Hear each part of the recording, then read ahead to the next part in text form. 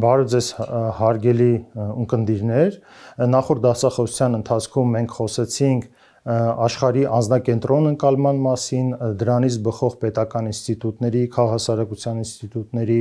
պետական կառույցների հասցեատիրության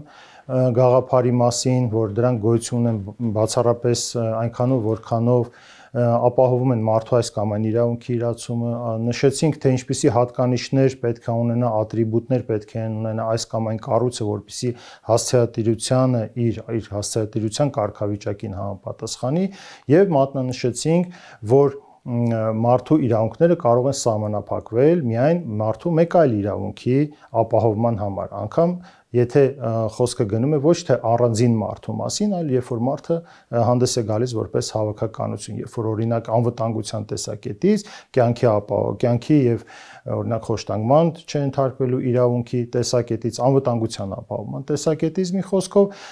անձը իրավունք ունի անվտանգության եւ դա ապահովում է օրինակ անվտանգության ուժերի, անվտանգության կառույցների կողմից։ Այս իմաստով մարդու իրավունքները կարելի է դասակարգել երկու խմբի։ Առաջինը դրանք բացարձակ իրավունքներն են, երկրորդը դրանք սահմանափակելի իրավունքներ են։ Բացարձակ իրավունքների մասին քիչ անց կխոսենք, բայց սահմանափակելի իրավունքների հիմքում ընկած է հետևյալը, որ իրավունքների սահմանափակման համար միշտ պետքա լինեն լեգիտիմ այլ շահեր, որպիսի այդ իրավունքի սահմանափակումը չդիտարկվի որպես իրավունքի խախտում։ Իսկ սկզբից ասենք, որ բացարձակ իրավունքների դեպքում ցանկացած սահմանափակում ի սկզբանե արդեն հանդիսանում է այդ իրավունքների խախտում իրավունքների սահմանափակման օրինակ, այս լեգիտիմ սահմանափակման օրինակ կարելի է բերել հետևյալ երկու իրավիճակները, օրինակ Եթե խոսում ենք որ այն մասին, որ մարդը ունի գաղափարներ, տեղեկություններ փնտրելու եւ տարածելու իրավունք, որի հասցեատերը լրատվամիջոցներն են։ Եվ նույն մարդը ունի նաեւ արդար դատաքննության իրավունք եւ ունի հրաապարական դատաքննության իրավունք բայց մյուս կողմից կան արդարադատության շահեր, պետական անվտանգության շահեր, որոնց դեպքում պետք է ասել, որ օրինակ հանրության կամ մարդու տեղեկություններ ստանալու իրավունքը տվյալ դատական process-ից կարող է սահմանափակվել այն իմ նշած լեգիտիմ շահերից ելնելով եւ այս դեպքում այն իմ նշած նախորդ հանդիպման ընթացքում նշած իրավունքը դա ազատության համընդհանուր եւ անհրաժեշտ ձև է այս բանաձևը նշանակելու է որ պետքա գտնել այն ընդհանուր ձևը որի մեջ կապահովեն երկու իրավունքներն էլ հակառակ դեպքում պետքա խոսել որ տեղի է ունեցել ոչ պատշաճ սահմանափակում, որի մասին մենք կխոսենք հաջորդիվ։ Եվ այսպես բացարձակ իրավունքները, որոնք են։ Բացարձակ իրավունքները մարդու իրավունքների Եվրոպական կոնվենցիայի մեկնաբանող մարդու իրավունքների Եվրոպական դատարանի մեկնաբանությամբ նշված են որպես կյանքի իրավունքը այն առումով, որ ոչ ոք չպետք է ապօրինաբար զրկվի իր կյանքի, զրկվի զրկվի կյանքից, խոշտանգման եւ համանման վերաբերմունքի, օրինակ ստրկության նաեւ չընթարկվելու իրավունքը, օրենքի հիման վրա պատիժ նշանակվելու իրավունքը, եւ բացարձակ իրավունքների էությունը կայանում է նրանում, որ այդ իրավունքները մարդուն տրված են բնականորեն։ Այն կաղ դրան կախված չեն այն կարգավիճակներից, որոնք մարդը ձեռք է բերում այս կամ այն իրավահարաբերության մեջ մտնելով։ Մարդը չի կարող հրաժարվել այդ իրավունքից։ Մարդը չի կարող նաև այն դա այն օտարել իրենից որևէ որևէ այլ կերպ ինչու որովհետև այս բոլոր իրավունքները կապված են մարդու արժանապատվության հետ Եթե մենք զուգահեռ անցկացնենք, իսկ զուգահեռները միշտ պետք է անցկացնել այլ գիտությունների հետ, քանի որ նշեցինք իրավունքի եւ օրենքի հարաբերակցության մասին եւ օրենքը դա ընդհանրապես երևութականացնում է էությունը, այսինքն իրավունքը եւ ցանկացած գիտություն կլիներ ավելորդ, եթե օրինակ իրավունքը հավասարեցվեր եւ լիներ ընդհանրապես օրենքների համակցություն եւ ցանկացած գիտություն անիմաստ է եւ ավելորդ, եթե երևույթները սպառում են սպառում են ամբողջ էությունը եթե օրինակ եթե մենք ասում ենք իրավունքը դա օրենսդրական նորմերի համակցությունը, այսինքն երևույթների համակցությունը, մենք մոռանում ենք նրա մասին, որ գոյություն ունի իրավունքը որպես էություն։ Եթե մենք այսպիսով համեմատական անցկացնենք ֆիզիկայի հետ, որտեղ գոյություն ունեն էլեմենտար մասնիկներ, որոնց հիմա որոնցից բաղկացած է ամբողջ նյութական աշխարհը, բայց դրանք ինչի ինչի հիման վրա ենք ասում, որ ամբողջ նյութական աշխարհն է բաղկացած այդ մասնիկներից, որովհետև դրանք այլևս արդեն ոչ տրոհվող, տրոհման ոչ ենթակա մասնիկներն են։ Նույնը իրավագիտության մեջ, իրավունքի մեջ արժանապատվությունն է։ Այսինքն արժանապատվությունը, եթե համատության համատականներ անցկացնենք, դա այն տարական, ամենատարական, ամենափոքր մասնիկն է, որը արկա է ցանկացած իրավահարաբերության մեջ եւ որը չի կարող օտարվել եւ որը չի կարող տրոհվել, անկամ եթե մարդը ցանկանա դա անել եւ այսպես այսպիսով անդրադառնալով արդեն սահմանափակելի իրավունքներին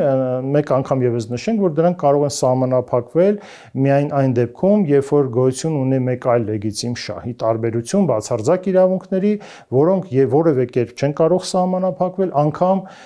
եվրոպական կոնվենցիայի 15-րդ հոդվածի երկրորդ մասում նշված արտակարգ իրավիճակներում եւ այսպես սահմանափակվող կամ սահմանափակելի իրավունքների սահմանափակման համար Եվրոպական դատարանը առաջարկել է մի շատ հետաքրքիր թեստ, որն այն անցկացնում է ցանկացած դեպքում ողջելու համար, թե արդյոք այս կամ այն իրավունքը սահմանափակվել է խախտման աստիճան, թե չէ։ Նախ եւ առաջ ողջվում է, թե արդյոք այս իրավունքը կոնվենցիայով երաշխավորված է։ Արդյոք տեղի ունեցել միջամտություն այդ իրավունքին եւ արդեն ավելի բովանդակային անցնենք թեստի մյուս քայլերին։ Առաջինը դա այն է, թե արդյոք իրավունքի սահմանափակումը նախատեսված է եղել օրենքով։ Օրենք հասկացությունը եւ սրա մասին մենք խոսեցինք նախորդ դասախոսության ընթացքում հանդիսանում է ինքնավար հասկացություն։ Ինչը նշանակում ինքնավար հասկացությունը։ Ինքնավար հասկացությունը նշանակում է, որ անդամ պետությունները չեն կարող սեփական իմաստը հաղորդել կոնվենցիայում օգտագործված հասկացություններին եւ այդպիսով խուսափել իրենց միջազգային պարտավորությունները կատարելուց։ Օրինակ, եթե ասվում է, որ յուրաքանչյուր ոգ ունի ով մեղադրվում է հանցագործության կատարման մեջ, ունի հրաապարակային դատարանի, անկախ դատարանի իրավունք, ապա չեն կարող օրինակ անձի կալանավորում, ազատազրկում նախատեսող որևէ արարք նախատեսել, ասենք վարչական օրենսդրվարչական իրավախախտումների մասին օրենսգրքով եւ անձին նկատմամբ նշանակել օրինակ 3 օրյա կալանք, ասելով, որ սա քրեական հանցագործություն չէ, այլ վարչական իրավախախտում է։ Այստեղ եվրոպական դատարանը ասում է, ինչ չէ տակրկում, թե ձեր որ օրենսդրությամբ օրենսդրությամբ է նախատեսված այս արարքը, կարևորը այն է, թե ինչ հետևանքներ է այն ունենում մարդու համար։ Հետո նույնը եւ ինքնավար հասկացություն օրենքն է։ Օրենքը որպիսի համարվի սահմանափակումը օրենքով նախատեսված, օրենքը ինքը պետք է որպես ինքնավար հասկացություն բավարարի երկու հիմնական չափանիշներին։ Առաջինը դա օրենքի կանխատեսելիությունն է եւ երկրորդը հասանելիությունը։ Օրենքի կանխատեսելիությունը ենթադրում է այնպիսի հստակություն օրենքի, որը թույլ է տալիս այդ օրենքի հասցեատիրոջ, այսինքն այն անձին, ում որ ուղված է օրենքի պահանջը, նորմատիվ պահանջը, հասկանալու օրենքի էությունը եւ համակերպելու իր վարկագիծը օրենքի հետ, ինչպես Եվրոդատարանն է նշում, որոշ դեպքերում համապատասխան խորհրդատվություն ստանալու հետո, ստանալուց հետո իրավունքի հասանելիությունը նշանակում է, որ այդ այս կամ այն նորմը հասանելի է անձին, բայց ոչ ցանկացած հրաապարակված միանգամից նորմ ենթադրում է, որ պետք է իրենով կարող է սահմանափակվել անձի իրավունքը։ Ենթադրվում է, որ այսինքն անհրաժեշտ է, որpիսի օրենքը երբ որ փոխվեց, օրինակ պատկերացրեք, եթե երթևեկության կանոնների հետ կապված, օրինակ ամբողջ մի քանի մի 10 տարի այս տվյալ հատվածում եղել է օրինակ 60 ժամ արագություն եւ գիշերվա ընթացքում փոխում են եւ դարձնում են 40 ժամ արագություն։ Եվ անձը առանց իմանալու անցնում է այդ տեղով եւ ենթարկվում պատասխանատվության։ Այստեղ պետք է ասել, որ պետք է օրենքը հասանելի լիներ, այն առումով, որ իրազեկվի քաղաքացիներ իրազեկվեն եւ որպեսի կարելի լինի ողջամտորեն պնդել, որ այդ անձինք արդեն իմացել են օրենքի պահանջը, որպեսզի կարողանան նրանց պատասխանատվության ենթարկել։ Օրենքի մեկ այլ կարևոր օրենքով նախատեսված մեկ այլ կարևոր հատկանիշն է օրենքի որոշակիությունը այն առումով, արդեն ասեցի դա կանխատեսելիության մասն է, այն առումով, որ իրավունք սահմանափակող նորմերը եւ հիմքերը չեն կարող ձևակերպած լինել անորոշ կերպով։ Օրինակ նշվի, որ մարդու այս կամ այն իրավունքը կարելի է սահմանափակվել այս, այս, այս եւ այլ դեպքերում։ Օրինակ այլ բառը չի կարելի ձևակերպել։ Այսինքն իրավունքի սահմանափակում նախատեսող նորմերը պետքա այդ իրավունքի սահմանափակման հիմքերը նախատեսեն սպառիչ կերպով եւ անցնենք հետագա այդ քայլերի հաջորդ քայլերին երբ որ եվրոպական դատարանը արդեն համոզվում է նրանով որ արկա է եղել օրենք որով սահմանափակվում է մարդու իրավունքը օրենքի ինքնավար իմաստով անցնում է մյուս քայլերի ձեռնարկում մյուս քայլերը ողջելու համար թե արդյոք օրին նախ եւ առաջ օրենքից հետո դա արդյոք սահմանափակում է մարդու իրավունքի հետապնդել է իրավաչափ նպատակ Այսինքն ցանկացած նպատակ չէ, որ կարող է պետությունը դնել կամ պետության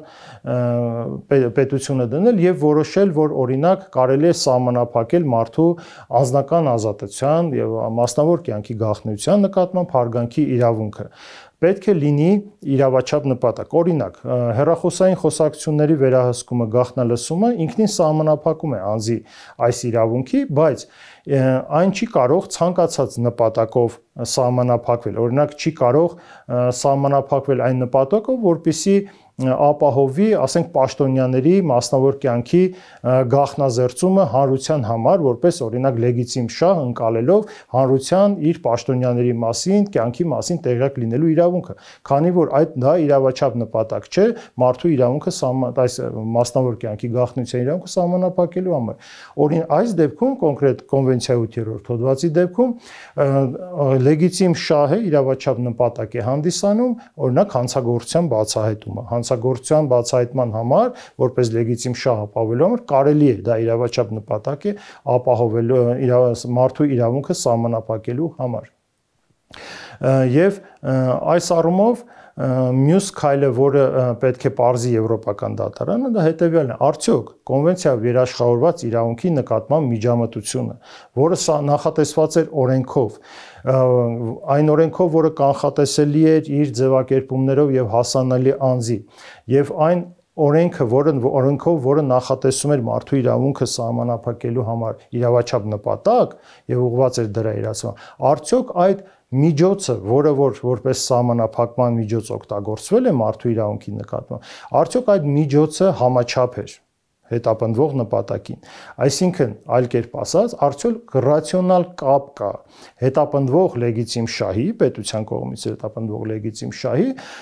եւ ձեռնարկված սահմանափակ իրավունքը սահմանափակող միջոցների հետ։ Օրինակ, եթե վերցնենք դարձյալ նույն անվտանգության ապահովումը, պատկերացրեք, եթե ոստիկանությունը օրինակ ահազանգ է ստանում, որ ինչ որ մեկը մեքենայով թմրամիջոց է տանում։ Օրինակ, ասենք 1 կիլոգրամ թմրամիջոց։ Եվ բնականաբար այս լեգիտիմ շահ հետապնդելու հետապնդելով պետությունը իրավունք ունի խուզարկելու մեքենաներ եւ որոշ հիմնավոր կասկածի պարագայում սակայն օրինակ այս ահազանգը ստուգելու համար պետությունը չի կարող բոլոր մայրուղիները փակել եւ բոլոր մեքենաները կանգնեցնել եւ ստուգել մասնավոր կյանքը եւ գաղտնիությունը սահմանափակել եւ բնակարանի անձեռնմխելությանն է նույնը վերաբերում եւ այլ այսինքն պետքա լինի համաչափություն լեգիտիմ շահի եւ այն միջոցների հետ որոնք օգտագործվում են կիրառվում են այդ լեգիտիմ շահը ապահովելու համար։ Եվրոպական դատարանը դա ձևակերպում է որպես անհրաժեշտ է ժողովրդավարական հասարակության մեջ։ Այդ ձևակերպումն է կիրառում, ինչու՞, որովհետև հակառակ դեպքում, երբ որ համաչափ չէ, մենք չենք կարող խոսել ժողովրդավարական հասարակության մեջ իրավունքի սահմանափակման մասին, այլ արդեն իսկ խոսում են կամայականության դրսևորման մասին։ Այսինքն պետությունը չի կարող ցանկացած լեգիտիմ շահ ցանկացած կերպով հետապնդել մարդու իրավունքների հաշվին։ Եվ այստեղ կարելի մի օրինակ բերել, օրինակ Լիտվայի օրենսդրության համաձայն ընդունվեց օրենսդրություն, որով նախկին ԽՍՀՄ ՊԱԿ-ի պետական անվտանգության կոմիտեի համար աշխատած բոլոր անձինք զրկվում էին մասնագիտական գործունեությամբ զբաղվելու իրավունք։ Եվ ջիտաուտը մյուսների գործն է եւ պետությունը ընդունել էր օրենք, նշել էր, որ դա հանցավոր կազմակերպություն է Լիտվայում եւ այլ եւ այլն։ Եվ եվրոպական դատարանը համաձայնելով բոլոր այդ իմ նշած թեստի արդյունքում դիումապետության կիրառման ընթացքում Լիտվայի կառավարության դիտարկումների հետ նշելով, որ այստեղ օրենքով նախատեսված էր, օրենքը հասանելի էր, օրենքը շատ կանխատեսելի էր, անձին զրկվում էին ոչ միայն պետության պետական պաշտոններ զբաղեցնելու, այլև օրինակ որպես իրավաբաններ դասախոսական աշխատանքի իրավունքից եւ այլն, այստեղ ամբողջ խնդիրը կայանում էր նրան, թե արդյոք այս սահմանափակումը կարելի է համարել համաչափ եւ գտնելով որ լեգիտիմ էին այդ բոլոր շահերը այնուամենայնիվ եվրոպական դատարանը արձանագրեց որ չի կարող ռացիոնալ կապ տեսնել հետապնդվող ինքնիշխանության նպատակի հետապնդվող այդ լեգիտիմ շահերի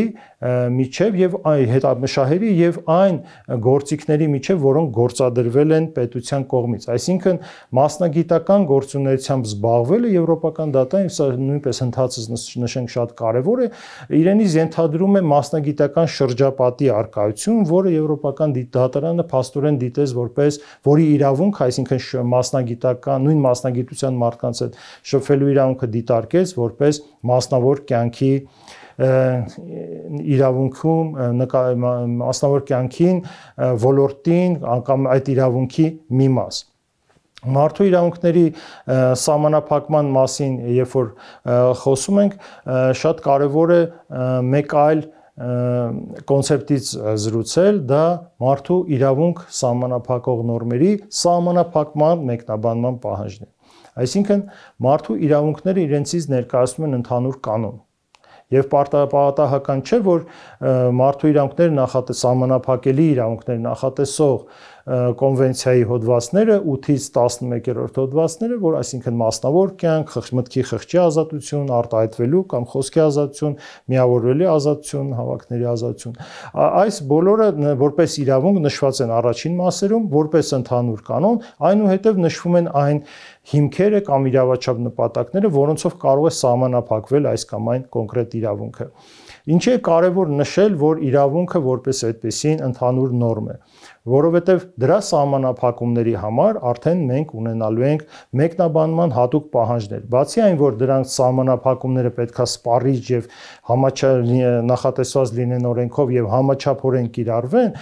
նաեւ պետքա ապահովի այդ սահմանափակող նորմերի սահմանափակ մեկնաբանման պահանջը, քանի որ դրանք բացառություններ են ընդհանուր կանոնից իրավունքից եթե օրինակ բերենք կոնկրետ, շատ կոնկրետ, օրինակ, եթե լրագրողը մասնակցում է դատաքննությանը եւ ցանկանում է եւ դատաքննությունը դրմբաց է, այն նա կարող է լրագրողը ինֆորմացիա հավաքել եւ տարածել, քանի որ չկա մրցակցող շահ, որը գերակայել է մարդու տեղեկություններ գաղափարներ ստանալու իրավունքի նկատմամբ, քանի որ եթե գերակայ էր, մենք ունենայինք դրմփակ դատաքննություն։ Այսինքն, սամ իրավունքը սահմանափակող հիմքերը տվյալ դեպքում այս օրինակ արդար քննադատության շահը, տուժողների կամ մեղադրյալների մասնավոր կյանքի գաղտնիության եւ այլ եւ այլ շահեր, որոնց հիման վրա կարող է սահմանափակվել խոսքի ազատությունը, ասի տվյալ դեպքում լրատվամիջոցի գործունեությունը, այն կարող է սահմանափակվել մի փուլում, երբ որ որոշվում է դրմբաց է լինելու դատաքննությունը, թե դրմփակ։ Երբ որ արդեն որոշվել է, որ դրմբաց է լինելու դատաքննությունը, օրինակ դատավորը չի կարող երկրորդ անգամ այդ նույն բացառող իրավունքից բացառություն նախատեսող հիմքերը կիրառել, օրինակ սահմանափակելով այս կամ այն լրագրողի մուտքը դատական նիստի սահմանափակելով, օրինակ նրա այնտեղ նկարահանելու լիազորությունը, օրինակ ասելով, որ դու 10 րոպե հետո պետքա ավարտես, այսինքն եթե մենք ունենք սահմանափակման հիմք, դրա սահմանափակման ազդեցությունը,